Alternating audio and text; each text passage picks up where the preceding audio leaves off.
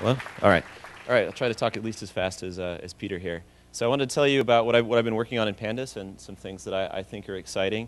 Um, I don't know if many of you have heard of this library, but um, basically we've got labeled arrays that handle heterogeneous data that are also size mutable, so kind of like an R data frame if you've ever used R. Um, but basically I think there's a pre, uh, kind of a um, misconception that, that Pandas is only for time series data. It's completely not true.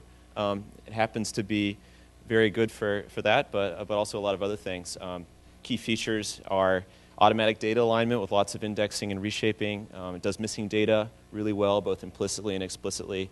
Uh, it's got great time series stuff. Um, I've used scikits time series, but I find it hard to use.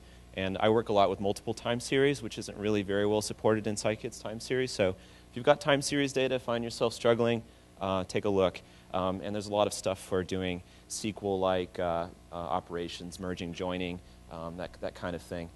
Um, of course, it, it's, you know, I, I, used to work for a hedge fund. I built it inside a hedge fund. It's extremely good for financial data. Um, people on the internet have very good things to say about it. I won't, won't really go there. Um, I, I would like to make it one of the best, if not the best, uh, tools in any language for, for working with relational data, uh, labeled data. So if you use it, you find that it's not, send me an email. Either you can hack on it or, or let me know how it could be improved um, because this is really my main goal is making it the best, one of the best tools that's, that's available anywhere. Um, and of course, um, trying to build, uh, build a platform um, that, that could be used to, to essentially replace R, building the fundamental building blocks for, for statistics, for data manipulation, um, stuff that people in other scientific computing environments wish they had in Python and haven't had uh, for a long time. So some of the new things, uh, oh wow, that's amazing. It's only two and a half minutes left. Um, I've heavily reworked the internals. There used to be two classes with different uh, internal implementations for tabular data. I fixed that. There's now just one.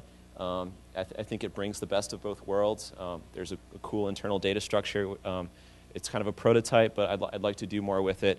Getting more eyes on it would be, would be fantastic. Um, handling of um, missing data and non-floating point dtypes is, is better. Um, and I'm, I'm, working currently on, essentially laying the groundwork for an n-dimensional structure. Usually in, in, the past, Pandas only handled uh, three dimensions and less, which is all, really all you need for finance and econometrics. But you know, people keep asking for you know greater than three, so I'm gonna I'm giving in. Here's another thing that I gave into recently: adding fancier indexing. Uh, something I, you know, I, I stonewalled on for for years. It feels like, and I finally added. So you know, integers, you know, labels. You can slice with labels.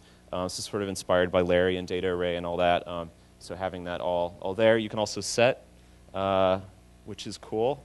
Um, so you do really fancy getting and setting on, on pandas, pandas objects.